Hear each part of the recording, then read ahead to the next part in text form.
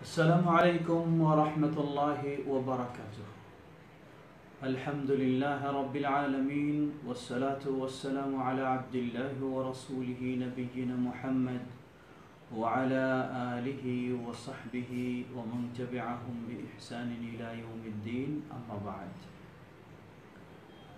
সুপ্রিয় দর্শক শ্রোতা শুরুতে জানাচ্ছি আপনাদের শুভেচ্ছা বিশেষ আমন্ত্রণ আজ পর্ব তেরো।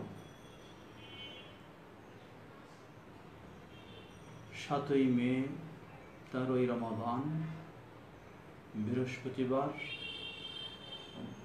আজকের আলোচ্য বিষয় গত দিনের সাথে মিল রেখে তৌহিদ, আল্লাহর একত্ববাদ। তিন, আজকে মূলত তৌহিদুল আসমা ও সিফাত। এ বিষয় নিয়ে আমরা আলোচনা রাখব, ইনশাআল্লাহ। আপনাদের শুরুতে আবারও মোবারকবাদ জানাচ্ছি রমাদান মোবারকের মোবারকবাদ। বাংলাদেশ জমিয়ে চায় হাদিসের পেজে আপনাদের সকলকে শুভেচ্ছা, আমন্ত্রণ জানাচ্ছি। আল্লাহ সুবহানাহু ওয়া তাআলার কাছে দোয়া করছি। রমজান মোবারকের সব কিছু এবাদত যেন আমরা সুষ্ঠু, সুন্দরভাবে পালন করতে পারি। আল্লাহ আমাদের সবাইকে সে তৌফিক দান করুন।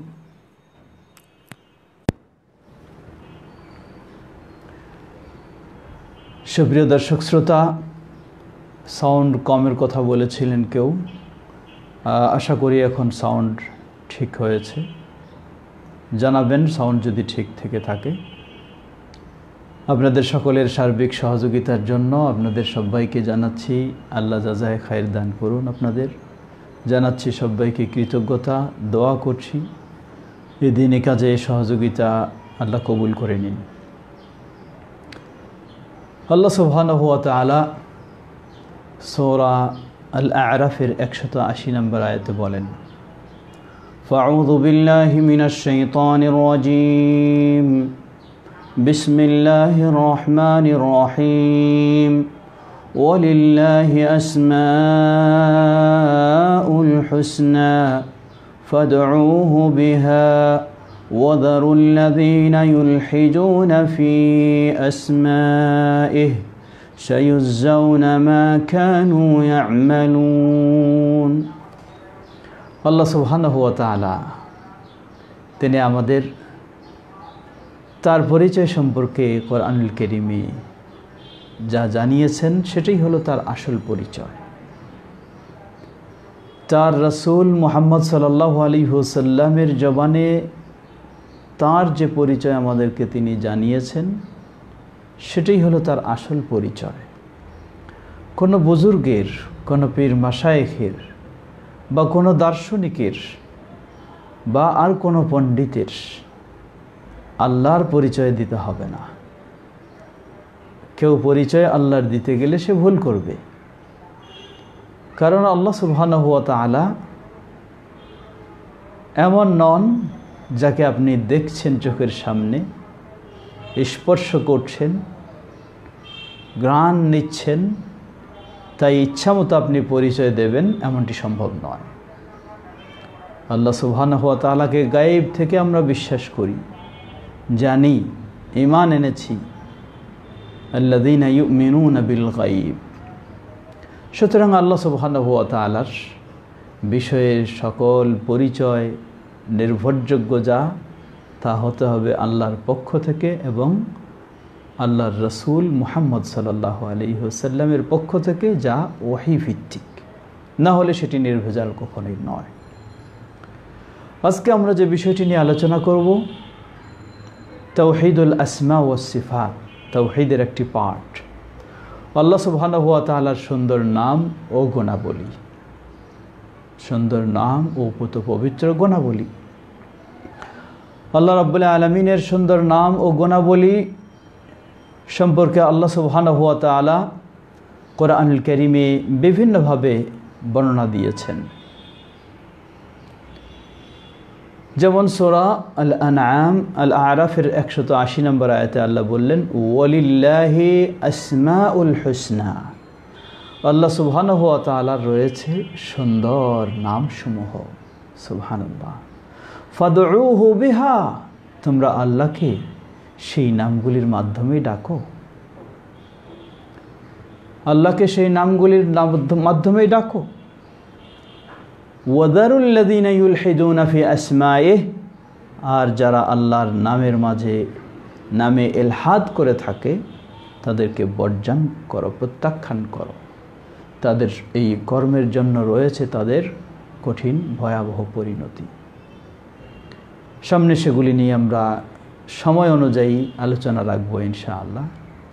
সুপ্রিয় দর্শক, শ্রোতা, আজকে যে বিষয়টি তৌহিদুল আসমা ও সিফাত, আল্লাহ সুবহানুভতালার সুন্দর ওর নাম ও গোনাবলির প্রথমে আমরা পরিচয়টা জেনে নেব। কাকে বলে? জবাব, আল্লাহ সুবহানুহুয়া তালা নিজের জন্য যে সমস্ত নাম ও গোনাবলী তার কেতাবে অথবা তার প্রিয় রাসুল মুহাম্মদ সাল্লাহ সাল্লামের মাধ্যমে বর্ণনা দিয়েছেন, সেগুলি বিশ্বাস করা, সেগুলিকে মেনে নেওয়া, কীভাবে?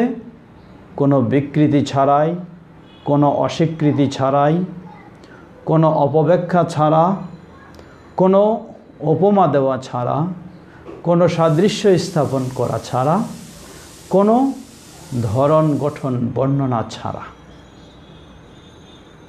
এটাই হচ্ছে তাওহিদুল আসমা ও সিফাতের পরিচয়। এগুলি আল্লাহ সুবাহানুবতালার জন্যই সেভাবেই সাব্যস্ত করা এইসব শর্ত সাপেক্ষে। এ বিষয়টি অত্যন্ত গুরুত্বপূর্ণ। আজকে বর্তমান বিশ্বে যারা মুসলিম, তারা এই বিষয়কে কেন্দ্র করে বহু ভাগে বিভক্ত হয়ে গেছে। আর বহু ভাগে বিভক্ত হওয়ার মূল একটি কারণ হলো কোরআন এবং সহি হাদিস থেকে দূরে সরে যাওয়া। যখনই তারা আল্লাহ সুবাহানুভ তালার এইসব বিষয়গুলির ক্ষেত্রে আকিদা গ্রহণের জন্য উৎস হিসাবে নিজের বিবেক বুদ্ধিকে গ্রহণ করেছে, তখনই তারা বিভ্রান্তিতে চলে গেছে। এজন্য এই সব বিষয়ে, বিশেষ করে যেগুলি গাইবী বিষয়, সেগুলির ক্ষেত্রে আকিদা গ্রহণের জন্য উৎস হিসাবে গ্রহণ করতে হবে আপনাকে মাত্র একটি, সেটি হলো ওয়াহি, যার দুটি অংশ একটি হলো কোরআনুল করিম, আরেকটি হলো সাহি হাদিস। এ দুটি ছাড়া অন্য কোনো পথ নেই। এ দুটির মাধ্যমে যখন আপনি আল্লাহ সুবহানুয়ালার এই বিষয়গুলি গ্রহণ করতে চাইবেন, তখনই আপনি সঠিক অবস্থানে থাকবেন। আর যদি বলেন যে আমার বিবেক যা বলবে সেই অনুযায়ী, বিবেক যেটা বলবে না সেটা না, তাহলে কোনো সন্দেহ নাই, নিশ্চিত আপনি ভ্রান্তিতে যাবেন। কারণ আল্লাহ সুবহানুয়া তারা বলেন, ওয়ালা চাকফুমা লাইসালাকা বিহে ইলম। আল্লাহর এইসব বিষয় নিয়ে আপনার কোনো জ্ঞান নেই? আপনি এই বিষয়ে নিজে নিজে থেকে একটা নীতিমালা তৈরি করবেন, এটি হতে পারে না। ওলা ইউহিতুনা বিশাই মিন আল্লাহ তাআলা তাকে মানব মখলুক কখনো পরিপূর্ণভাবে অবগত হতে পারে না। এই যোগ্যতা নেই মখলুকের। আল্লাহ যেটুকু জানান, সেটুকুর মাধ্যমেই শুধু জানতে পারে। তাই প্রথমে আমরা বলব যে এই সব বিষয়ে আল্লাহ সুবহানা হুয়া তালাকে জানার জন্য, আকিদা পোষণের জন্য, আকিদার যে উৎস সেটি হলো কোরআন এবং সহি হাদিস। যারা এ থেকে সরে গেছে, তারাই বিভ্রান্তিতে গেছে। আর যারা এ পথে এটাতেই অটল রয়েছে, তারাই আল্লাহ সুবহানাহুয়া তালার ইচ্ছায় সঠিক পথে থাকার সৌভাগ্য লাভ করেছেন।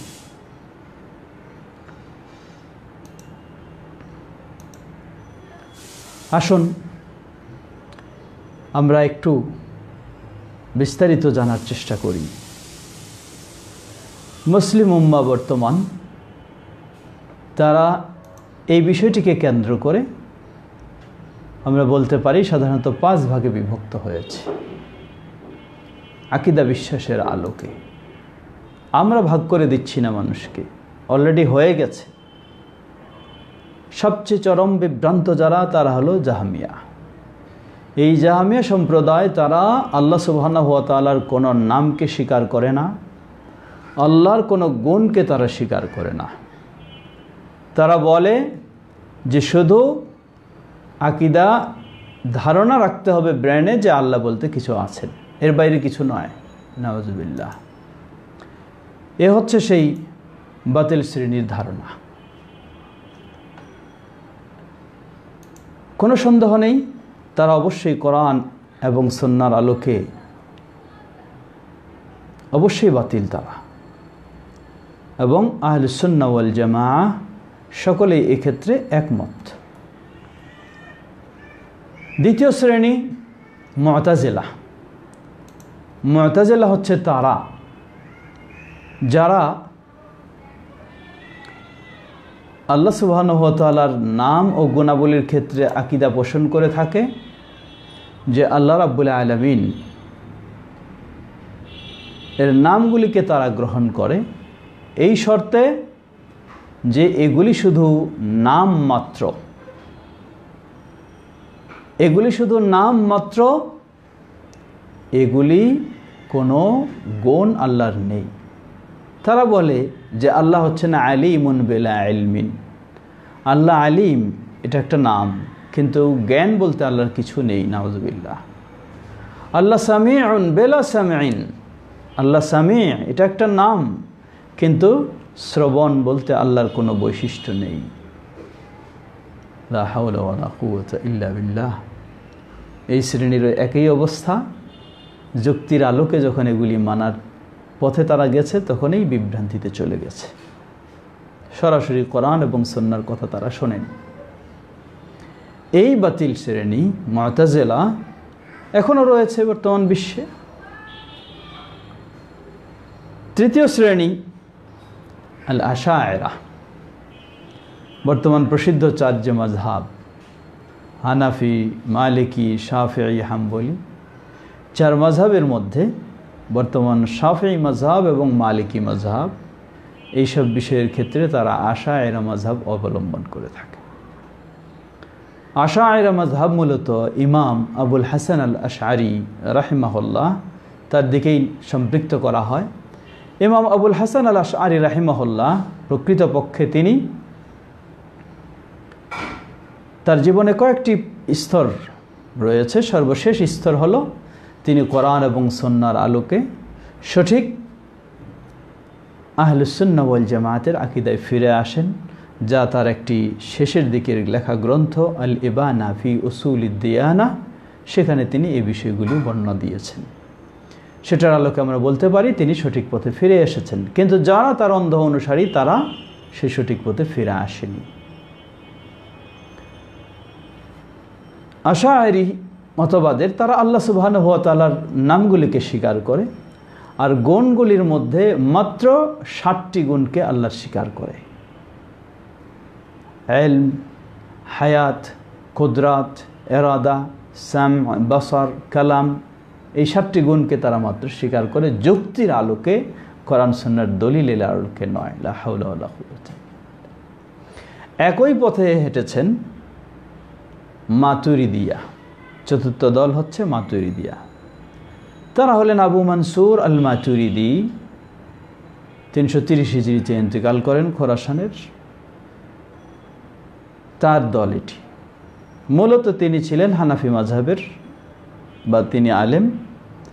ইমাম আবু হানিফা রাহিমাহুল্লার যে সঠিক আকিদা এই ক্ষেত্রে, সেটিকে নষ্ট করে দিয়ে আবু মনসুর আল মাতুরিদি, তিনি এই মাতুরিদি আকিদা সাব্যস্ত করেন।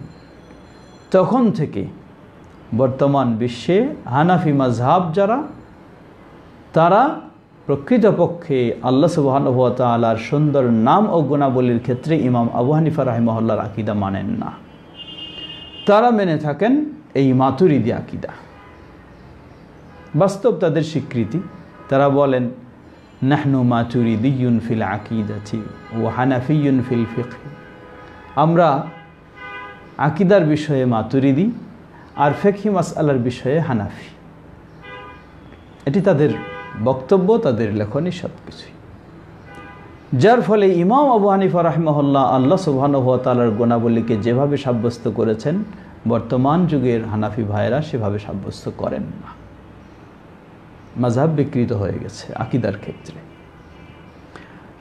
মাতুরিদি এই মাঝহাব আশায়েরি মাঝহাবের মতোই শুধু সাতটার জায়গায় আরেকটি তাকবিন বা আল খালক এই গুণটি বেশি সাব্যস্ত করে থাকে। কিন্তু সব একই সিস্টেমের কম বেশি। পঞ্চম দল হলো আহলুসুন্নাওয়াল জামা যাদের কথা হলো যেমনইভাবে আল্লাহ সুবাহানুয়াতালার নিজের পরিচয় দিয়েছেন তার কিতাবে, তার রাসুলের মাধ্যমে দিয়েছেন তার পরিচয়, আমরা ঠিক তেমনইভাবে তাকে মানব। প্রসিদ্ধ চার ইমাম ইমাম আবু হানিফা রাহিমহল্লা ইমাম মালিক, ইমাম শাফি, ইমাম আহমদ বিন হাম্বল রাহিমাহুল্লাহ, তারা সকলেই এই বিষয়ের উপর একমত। তাই বর্তমান হাম্বলি মাজাবের অনুসারী যারা, তাদের মাঝে এই সঠিক আকিদা পাওয়া যায়। সুপ্রিয় দর্শক শ্রোতা, আহলুল হাদিসদেরও একই এটি আকিদা যে আল্লাহ সুবহান হুয়া তালা তার নিজের পরিচয় যেভাবে দিয়েছেন, আমরা সেভাবেই তাকে পরিচয় নেব। জানব, মানব। অতএব আমাদেরকে এই ক্ষেত্রে মনে রাখতে হবে, তৌহিদুল আসমা ও সিফাত, আল্লাহ তার যেসব ইতিবাচক গুণ বর্ণনা করেছেন, আমরা সেগুলিকে ইতিবাচক হিসাবে গ্রহণ করব। যেগুলি নেতিবাচক হিসাবে বর্ণনা করেছেন, সেগুলিকে নেতিবাচক হিসাবে আমরা মেনে নেব। এটাই হচ্ছে আহলুসুন্নাওয়াল জামায়াতের আকিদা বিশ্বাস। আল্লাহ রাবুল আলমিন আমাদের সবাইকে সেই সঠিক আকিদা বিশ্বাসের উপর অটল থাকার তৌফিক দান করুন। সুপ্রিয় দর্শক, শ্রোতা, এখানে কতগুলি নীতিমালা রয়েছে এগুলির ক্ষেত্রে? কারণ মানুষ এগুলির ক্ষেত্রে অনেক বিভ্রান্তিতে রয়েছে। তাই এই কতগুলি নীতিমালা করান এবং সন্ন্যার আলোকে এগুলি জেনে রাখতে হবে। প্রথম আমরা বলব, আল্লাহ সুবাহানুহতালার সুন্দর নামগুলির ক্ষেত্রে যা নীতিমালা প্রথম হচ্ছে আসমা উল্লাহ আলা কুল্লুহা হোসনা। আল্লাহর সব নামগুলি হলো সুন্দর। আমার কাছে কোনোটা বোধগম্য না হতে পারে আমার বিবেক দুর্বলতার কারণে, কম বুদ্ধির কারণে, কিন্তু আল্লাহ সুবাহানুহতালার সব নামগুলি সুন্দর। আসমা উল্লাহ আলা আলাম ও ঔসাফ আল্লাহ সুবাহানুহতালার নামগুলি, এটি শুধু নাম নয়, এটির নাম এবং এর মাঝে রয়েছে একটি বিশেষণ। এটা বিশেষ্য সাথে রয়েছে একটি বিশেষণ। যেমন, রাহিম, এটি আল্লাহর একটি নাম। দয়া, রাহমা, এটি হলো আল্লাহর সেফাত বিশেষণ। তাই আল্লাহ সুবাহানুহতালার সব নামগুলির মাঝেই রয়েছে একটি গুণ। তৃতীয় আসমা উল্লাহ তালা ইন দাল্লা তালা ওয়াসফিন মোতায়দ্দিন তাদাম্মানাত সালাসাত উমুর আল্লাহ সুবহানাহু ওয়া তাআলার নামগুলি দুই ধরনের হয়। কতগুলি মোতাআদ্দি, এটা আরবি ভাষাগত একটি পরিভাষা, কতগুলি লাজিম। যেগুলি মোতাআদ্দি, সেগুলির মাঝে তিনটি জিনিস পাওয়া যায়। তা হলো, সেটার মাধ্যমে আল্লাহর নাম সাব্যস্ত, যেমন উদাহরণস্বরূপ আসামি এটি আল্লাহর নাম একটা। দ্বিতীয় আসাম এটা আল্লাহ সুবাহানহতালার একটি গুণ তিনি শ্রবণ করেন। তৃতীয়, সবুত হুকমেহা ও মুক্তদাহা। এই নামের মাধ্যমে যা বিধান সাব্যস্ত হয় সেটি সাব্যস্ত। তা হলো, আল্লাহ সুবাহানহতালা শোনেন, এর মানে আমাকে বুঝে সুঝে কথা বলতে হবে, আমার সব কথা আল্লাহ শুনবেন। চতুর্থ দালালাতু আল্লাহ রাবুল আলমিনের প্রতিটি নাম তার জাত, সত্তা এবং সেফাতের প্রমাণ বহন করে। পঞ্চম আসমা উল্লাহ তালা তৌকিফিয়াতুন লামাজার আলিল আকলি ফিহা। আল্লাহ সুবাহানুহতালার এই সুন্দর নামগুলি সবগুলি হলো তৌকিফিয়া অর্থাৎ নিজের ইচ্ছা মতো কিছু কাটছাট করার সুযোগ নেই। এখানে চিন্তা গবেষণার খুব সুযোগ নেই। আল্লাহ এবং তার রসুলের মাধ্যমে যে আল্লাহর নামগুলি এসেছে সেগুলি। নিজে ইচ্ছা মতো কমানো যাবে না, বাড়ানো যাবে না, তৈরি করাও যাবে না। একেবারে সীমাবদ্ধ বিষয়। ষষ্ঠ আসমা উল্লাহ তালা গাইরু মাহসৌরাতিন বেআদিন মুআইয়ান। আল্লাহর নামগুলি কোনো নির্দিষ্ট সংখ্যায় সীমাবদ্ধ নয়। এখানে একটু বিস্তারিত বলতে চাই, একটি সুপ্রসিদ্ধ হাদিস, সাহেহুল বুখারির। আল্লাহ রসুল সাল্লাম বলেন, ইন্না লিল্লাহি ইসমা। মিয়া ইল্লা ওয়াহিদা। মান হাফিদাহা ও আহসাহা দেখালাল জান্না আল্লাহ সুবহানাহু ওয়া তাআলার নিরানব্বইটি নাম, একটি কম একশো। যে এগুলিকে ভালোভাবে সংরক্ষণ করবে, মুখস্থ করবে, উপলব্ধি করবে, বুঝবে, বাস্তবায়ন করবে তার জীবনে, দেখালাল জান্না সে ব্যক্তি জান্নাতে প্রবেশ করবে। সুবহানাল্লাহ। হাদিস সাহেবুল বুখারি। এখন মনে করি আমরা, তাহলে আল্লাহর প্রতি নিরানব্বইটি নাম এর বেশি নয়। জবাব, এই হাদিসে বলা হয়নি যে আল্লাহর শুধু নিরানব্বইটি নাম আছে। এই হাদিসে বলা হয়েছে, আল্লাহর নিরানব্বইটি নাম যে এই এই করবে, তার এই মর্যাদা। তাই এর দ্বারা সীমাবদ্ধ বোঝায় না। হয়তো কেউ বলবেন যে দলিল যে সীমাবদ্ধ নয় নিরানব্বইটিতে। দলিল কোরআনুল করিম বাস্তব, কোরআন সন্ন্যায় খুঁজে দেখুন আপনি নিরানব্বইয়ের বেশি নাম পাচ্ছেন।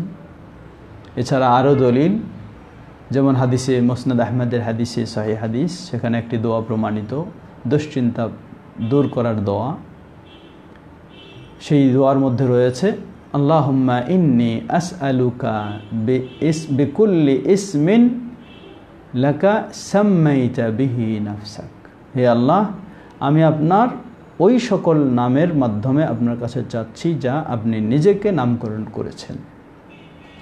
আও আল্লামতাহু, আও আংজালতাহু ফি কিতাবিকা। এবং ওই সব নাম দিয়েও চাচ্ছি যেগুলি আপনি আপনার কিতাবে নাজিল করেছেন। আও আল্লাম তাহু আহাদাম্মিন খালকিক। এবং ওই সবগুলো নাম দিয়েও চাচ্ছি যেগুলি আপনি আপনার কোনো সৃষ্টিকে শিক্ষা দিয়েছেন। আও ইনদাক। এবং ওই সব নামগুলির মাধ্যমেও চাচ্ছি যেগুলি আপনার গাইবের মধ্যে সীমাবদ্ধ রয়েছে, আর কেউ জানে না। সুবহানাল্লাহ। তাহলে এই হাদিস বলে দিচ্ছে যা আমাদের জানার মধ্যেই যদি নিরানব্বইয়ের বেশি হয়, আল্লাহর কাছে আমাদের অজানার বাইরে আরও অসংখ্য নাম রয়েছে সুহান অতএব আল্লাহর নাম নিরানব্বইটার মধ্যে বা কোনো সংখ্যায় সীমাবদ্ধ নয়, অসংখ্য নাম। সপ্তম বিষয় আল এলহাজফি আসমা ইল্লাহি চালা আল্লাহ সুবহান হুয়া তালার নামগুলির ক্ষেত্রে কোনো এলহাদ করা যাবে না। এলহাদ কি? এলহাদ হচ্ছে আল্লাহর নামগুলিকে অস্বীকার করা অথবা আল্লাহর নামগুলিকে বিকৃত করা। আল্লাহর নামগুলিকে বিকৃত করে কোনো মখলুকের সাথে সাদৃশ্য দেওয়া, এটাও। অথবা আল্লাহ সুবহানা হুয়া তালার নামগুলি যা রয়েছে নিজের পক্ষ থেকে এমন কোনো নাম আল্লাহকে দিয়ে দেওয়া। যেমন উদাহরণস্বরূপ আব খ্রিস্টানেরা আল্লাহকে আব বলে, বাবা বলে নাম দিয়েছে। এটা এলহাদ অথবা আল্লাহ সুবাহানহতালার নামগুলি থেকে বের করে ভিন্ন নাম তৈরি করা। যেমন আল্লাহ সুবাহানহতালার ইলাহ থেকে লাত, আজিজ থেকে উজ্জা, এইসব কিছু তৈরি করা হয়েছে। এসবগুলি হলো ইলহাদ। আসল অবস্থা থেকে ভিন্ন দিকে চলে যাওয়া। সুপ্রিয় দর্শক, শ্রোতা, আল্লাহ সুবহানাহ তাআলা এক্ষেত্রে একটি মাপকাঠি দিয়েছেন। আল্লাহ বলেন, লেইসা কা মিসলিহি সেই ওহুয়া সামিউল বাসির। লেইসা কা মিসলিহি সেই ওহুয়া সামিউল বাসির। দুটি অংশ। একটি হলো আল্লাহর সাথে সাদৃশ্য, তুলনা, উপমা, এটাকে নাকচ করা হচ্ছে। লেইসা কামিসলি হিসাই বৈশিষ্ট্যের ক্ষেত্রে বলেন আর নাম যে ক্ষেত্রে বলেন নাই। ওহু সামি আল বসির। আবার এখানে আল্লাহ সুবাহানুহতালার নাম এবং গুণাবলীকে সাব্যস্ত করা হচ্ছে। যারা আল্লাহর নাম গুণাবলীকে অস্বীকার করে তাদের প্রতিবাদ। আর প্রথম অংশে যারা আল্লাহ সুবাহানুহতালার সাথে অন্যকে সাদৃশ্য করতে চায়, তুলনা দিতে চায়, তাদের প্রতিবাদ। এসব নীতিমালাগুলি হলো আল্লাহ রাবুল্লাহ আলমিনের নামের ক্ষেত্রে। আল্লাহ রাবুল্লাহ আলমিনের গুণের ক্ষেত্রেও, সেফাতের ক্ষেত্রেও কতগুলি নীতিমালা রয়েছে? সেগুলি হচ্ছে, যেমন প্রথম, সিফাতুল্লাহ কুল্লুহা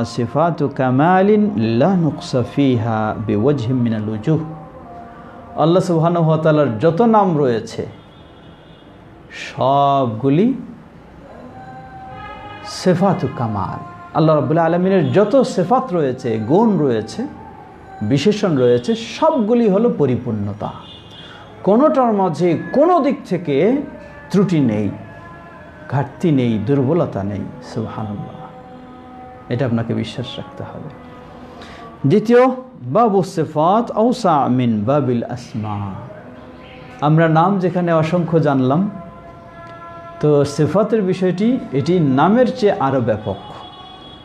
কারণ যেটি নাম, সেটার মধ্যে অবশ্যই গুণ রয়েছে।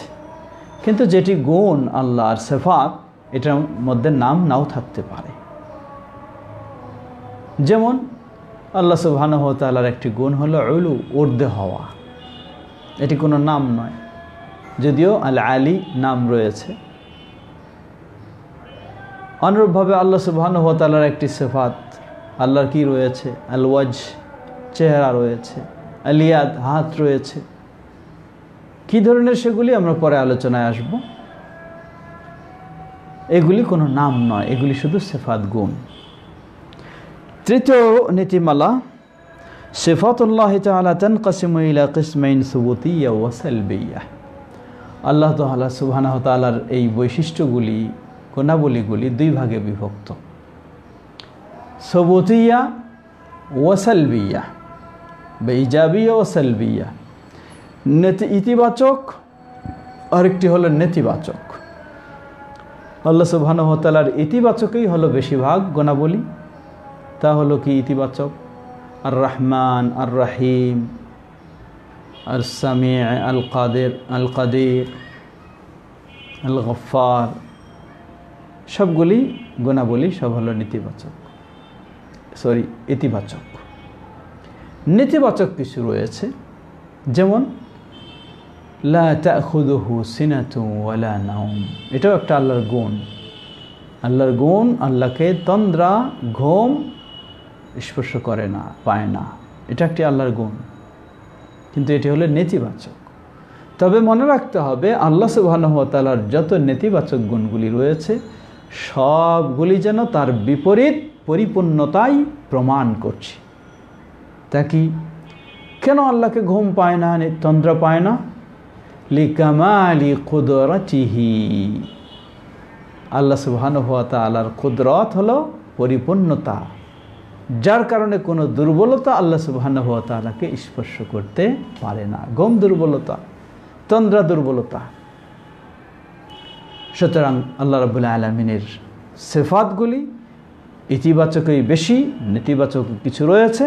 সেই নেতিবাচকেরগুলির ক্ষেত্রে আমরা মনে রাখব যে তার বিপরীতটাকে পরিপূর্ণ প্রমাণ করার জন্যই। চতুর্থ হল সেফাত আসবতি ইয়া সেফাত মদহিন ও কামাল। যে সমস্ত ইতিবাচক সেফাত, গুণগুলি, সেগুলি বেশিরভাগই সবগুলি হচ্ছে সেফাত মদহিন ও কামাল। আল্লাহর প্রশংসার দিক, আল্লাহর পরিপূর্ণতার দিক সেগুলিতে ফুটে উঠছে। পঞ্চম বিষয় হলো সেফাত সুবুতিয়াতন কাসিম ইলা কিসমেন জাতীয় ও ফেলিয়া।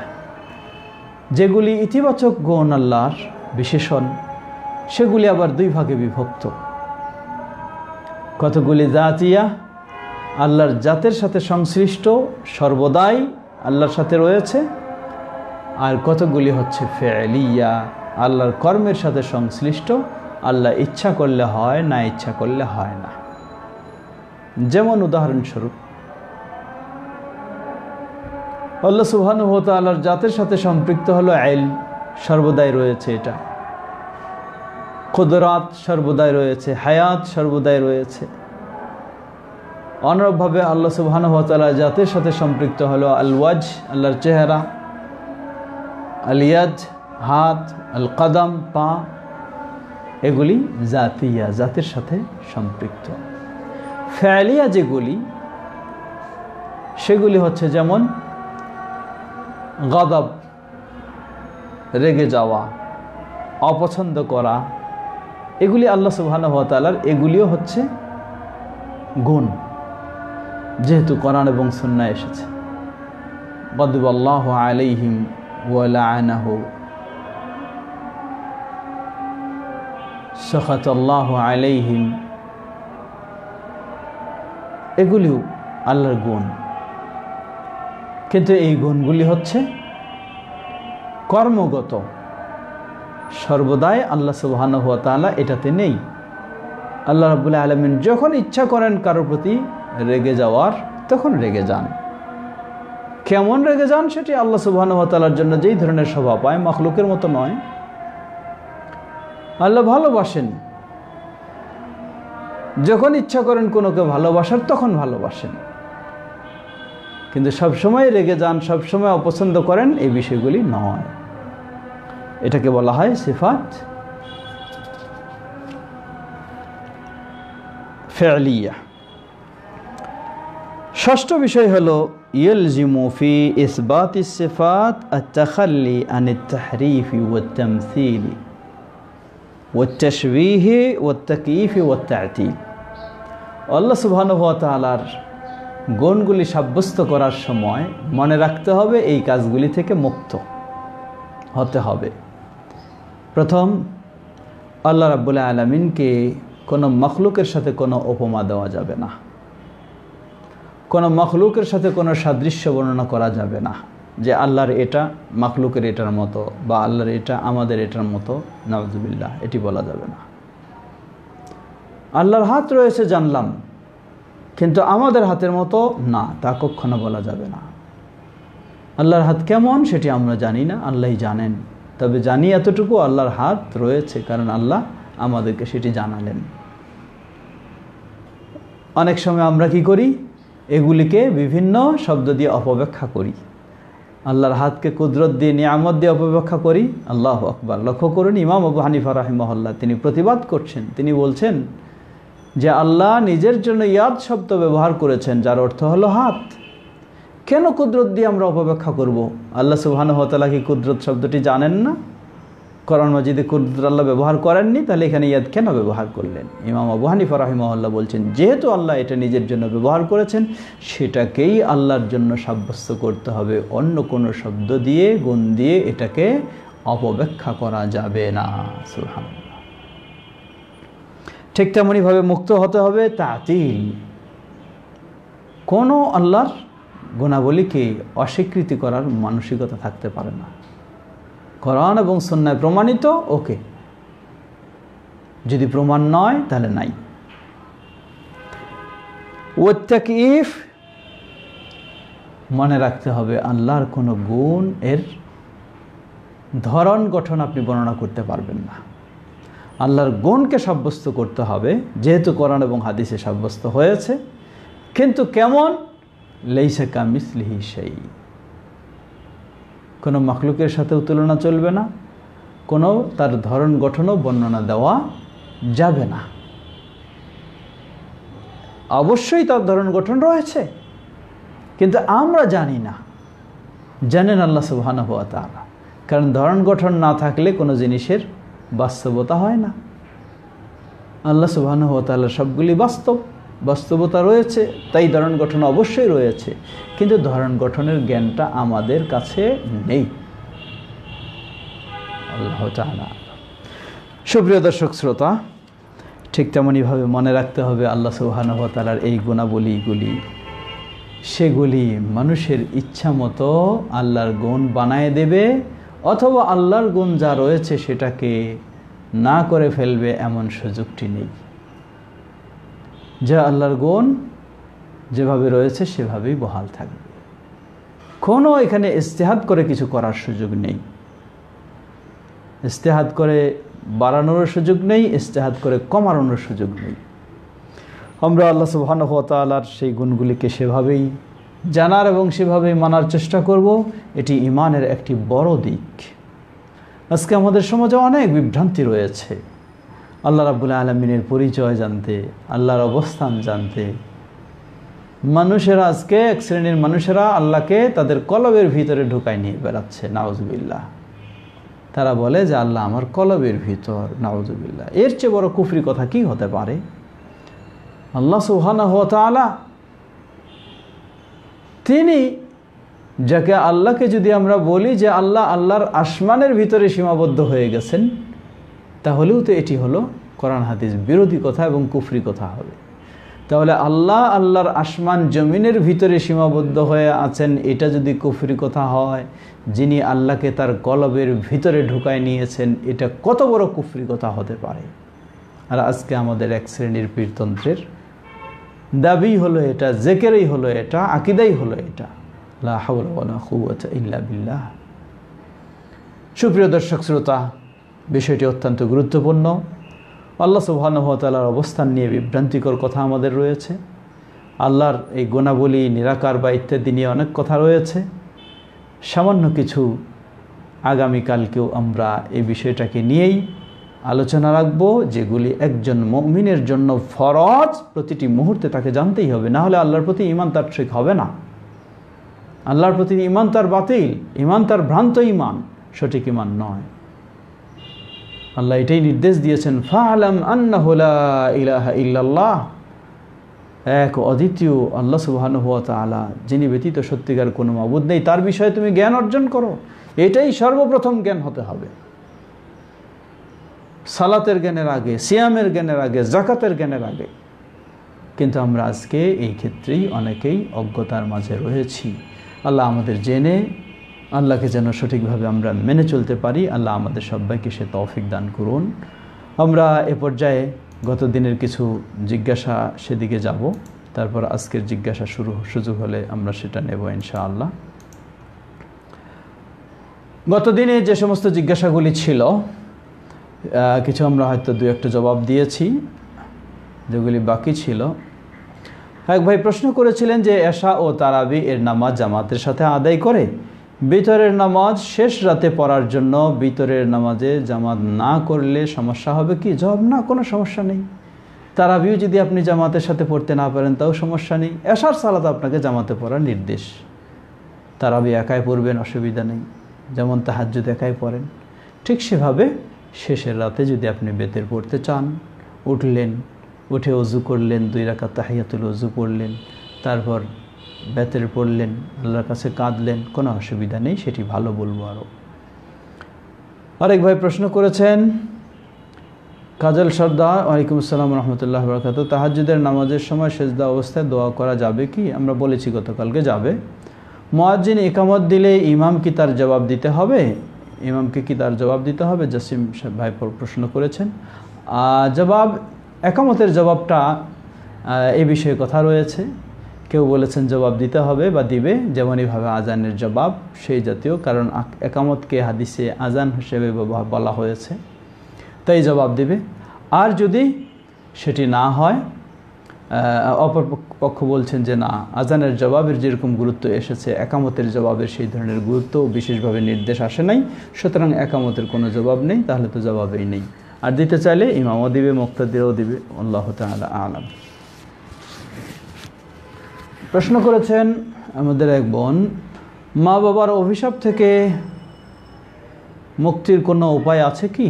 জবাব মা বাবার অভিশাপ থেকে মুক্তির প্রথম উপায় হলো কেন অভিশাপ দেবেন?